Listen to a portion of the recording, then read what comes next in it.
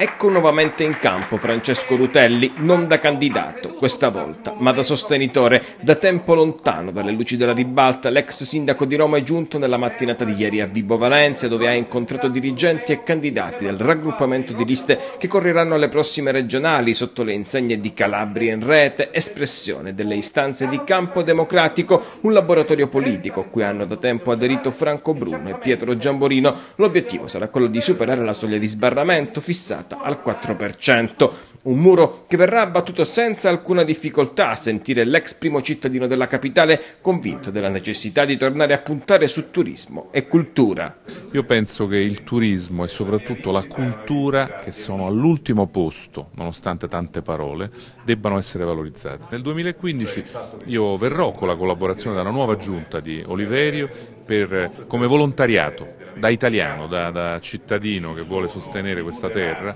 per favorire l'attivazione di risorse, di energie eh, oggi sprecate per la cultura, il turismo e per la creazione di occupazione e di sviluppo legate a questi settori in Calabria. Lo farò perché questa terra non può essere lasciata indietro, io sono stufo di incontrare calabresi a Roma